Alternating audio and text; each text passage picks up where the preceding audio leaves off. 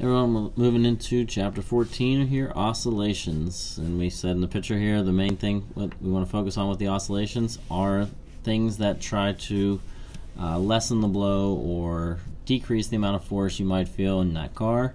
So the springs and the suspension and the shocks are what do that. So we want to analyze how those can dampen the forces that you actually feel.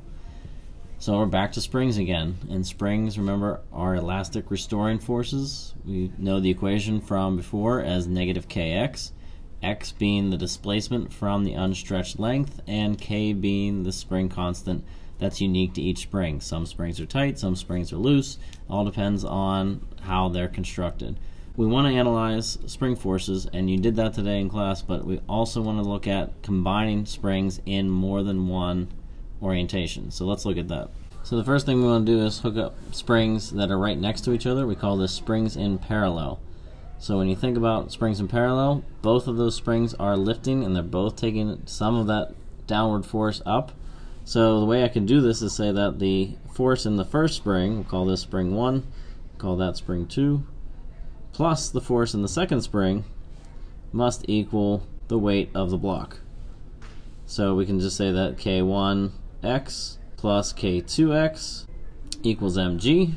One thing we do know is that uh, spring 1 and spring 2 will stretch the same distance. So I can pull that out of my equation and leave behind a K1 plus K2 equals mg. And if I had a third spring pulling up, well, it'd just be K1, K2, and K3. Solving for the distance of stretch, solving for the distance would just be the weight they're trying to hold up over K1 plus K2. What we call K1 and K2 is the effective spring constant, meaning those two springs could act as one spring if I replace them with whatever K1 plus K2 is. So if K1 was a 5 newton per meter spring and so was K2, I could replace them with just one 10 newton per meter spring and get the same result. So let's say I have one spring has a spring constant of 20 newtons per meter and I'm holding up a 10 kilogram mass. So just looking at that, if everything's at rest, spring force must equal the gravitational force, which means that Kx must equal mg. And since I know the spring constant, I know gravity and the mass, the question would be how far does the spring stretch? So that'd be 10 times 10 for your weight, or 100 newtons. We're going to divide that by 20 newtons per meter, and my spring is going to stretch 5 meters. But let's take two of those springs now and put them in parallel and holding up the same weight. So two springs in parallel here come down and hold up the same 10 kilograms. So I still have the same 100 newtons on this side, but this time we want to know the stretch in the spring and the combined K constant is 40 newtons per meter. Because since they're in parallel all I have to do is add those two together. So when I take 100 over 40 now I get two and a half meters to be my stretch. So they only have to stretch half as much as they did the first time because both are now taking some of the weight for themselves. What we mean by effective K constant is if I could eliminate these two springs with one equivalent uh, spring that's just like the two individuals, I could replace this with one spring that had a 40 newton per meter K value and get the same exact answer. Another orientation we could have here is one spring attached directly to another spring in line with the weight hanging down underneath that. So those two springs are we call in series with each other, and we want to see how we can find the effective K constant of two springs in series. What we want to do again is take both of those springs and try to replace both of those springs with one equivalent spring that will do the same exact thing as these two individuals. So what we could say is that if I look at that green spring, there is a total force that is upwards, and that total force upwards equals the force of gravity pulling down. Well, what is that total force made of? It's made of spring 1 and spring 2. And since they're all in line here, what we could say is that spring 1 must equal spring 2 and must also equal whatever that total force is. So all the forces are now the same. which means that K1 and K2 X2 must be the same. So if we want to look at that total force again, that total force upwards would be the effective K constant if we replace those two springs and made a new spring multiplied by stretch 1 plus stretch 2. The two stretches are not equal this time because uh, each of the springs will stretch independently of each other. And if they have different K values, they'll probably stretch a little bit different as well. Right now I don't know x1 or x2, so what I can do is, like we always do, is substitute and solve. If I substitute in for x1, what I'm going to get is, is k2 over k1 multiplied by x2 plus x2. And what I can do is pull out the things that are in common there, which is the x2. So I'll be left with the effective k constant, k2, k1 plus 1 times x2. Okay, so what is that doing for us? We're trying to find what that effective K constant is. And what we've solved here for is the total force pulling up. But we know that the total force pulling up is equal to force in spring 1 and the force in spring 2 since they're all in line with each other. So if I want to get rid of x2, I'm just going to set that equal to force 2. And force 2 ends up being k2 x2, which now eliminates my x2 from both sides and I can rearrange and substitute and solve. So if you are careful with your math, what you end up with is is that k1 times k2 over the sum of k1 plus k2. So what does that do for us? Well, another way of writing this whole giant fraction equation here is writing that 1 over the first spring constant plus 1 over the second spring constant equals 1 over the effective spring constant, or the total spring constant. So let's see what that does with our problem that we did last time with each spring being 5 newtons per meter and I put that into here.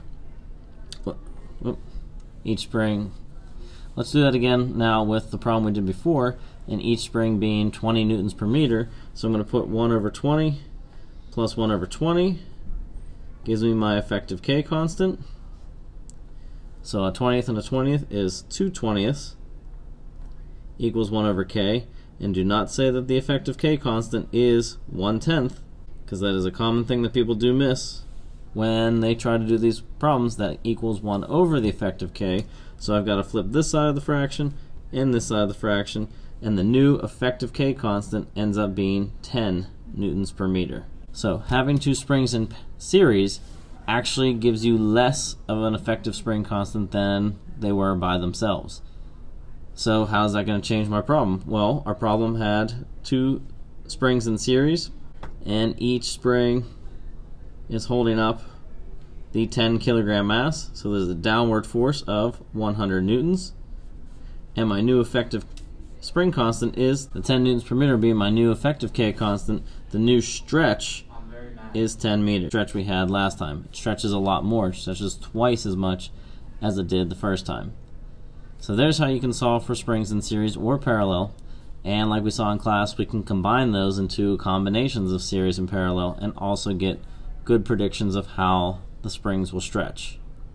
But why do we want to know this? Why do we want to deal with stretching springs? So the reason we want to know about springs and the forces that are involved is because to put things in simple harmonic motion now, all we have to do is move them a little bit more than they want to from their rest position and the springs start doing this. The objects will bounce back and forth, up and down. The objects could move left and right, just like that little thing I've had in the back of the room all year. Uh, we could have we could have anything that oscillates back and forth. That is something that we call simple harmonic motion. It's oscillatory motion. It's back and forth. It's repetitive. And what we can do is we can time things. We can time them for one complete cycle, or we could see how many cycles they get every single second, and we call that unit a hertz. So the hertz for a particular frequency tells you how many spins you would get for every single second of rotation. Or the reverse of that is the time just to complete one of the cycles. So a way to way to write equations for time period and frequency that if you want to find a frequency, you take the number of things happening for every single time period. And if I want to solve for a time period, the time period is just the flip of a frequency. So if you increase the time period, you decrease the frequency, or vice versa. So we've got those two relationships there for timing and finding how often things happen. And like we've seen many times before, the spring force is a restoring force that tries to cause objects to accelerate back to their resting spring length. They want the spring to go back to its unstretched length if possible, but if it's hanging up and down, it'll be happy to sit at that equilibrium point. So what do I mean by equilibrium? It's the point where there's no force on you whatsoever. We'll have springs moving back and forth. The x is the distance of stretch from that equilibrium point or compression. These springs maybe com- compress and stretch or go both ways. So what we're trying to focus on is what happens when you move that mass away from equilibrium. Where does it want to go? What forces does it feel? And how does it move as it moves through an oscillation back and forth and back and forth? One thing we can say is that simple harmonic motion and circular motion almost look identical here. When something travels in a circular path, that motion can be seen as oscillatory, meaning that it does look like it goes back and forth and back and forth. So let me show you what I mean by that. So here I am holding that wheel, and you can see I taped a marker to the wheel. What I'm going to do is give the wheel some motion, and once the wheel is spinning here, I can see that I've got normal circular motion here. The marker takes a certain time to rotate around. We could time this, calculate the time period or the frequency for how quickly this marker is spinning. Now I've obviously slowed down time so that you can actually see the marker spinning. But if I take circular motion and I turn the plane, if I move that wheel and move it 90 degrees to the plane, I have the same motion going on here, but now you can see the marker is on the far left side and now it's on the far right side. So it oscillates back and forth and back and forth and we can relate things that go in circles to th things like the spring and the mass. They look like they're almost the same thing happening at the same time, just in different planes. The marker is going left and right, while the mass goes up and down. So we can make many analogies to circular motion and simple harmonic motion by calculating time periods, frequencies, and even something we'll call the angular frequency, which is how often it goes around its cycle and how many radians per second. So tomorrow in class we will be calculating their angular frequencies and seeing how we can affect how quickly these objects move around the circle.